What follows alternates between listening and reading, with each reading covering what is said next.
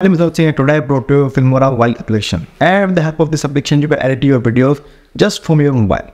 Today I want to show you how to add a split screen effect or multi-screen effect in your video. And this type of effect is usually used when you have to see uh, you have to show multiple characters or you have to see different process in a single frame. So let's dive into Filmora application. So just open Filmora application and click on new project and then go to stock option and choose sample color.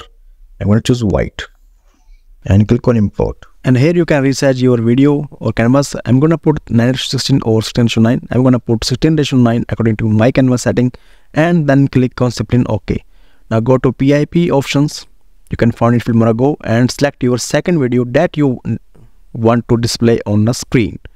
I'm to choose this one. I'm to resize it according to my canvas setting and place it something like this and then click on ok. Now go to add options and simply you select your second video that you want to display on the screen.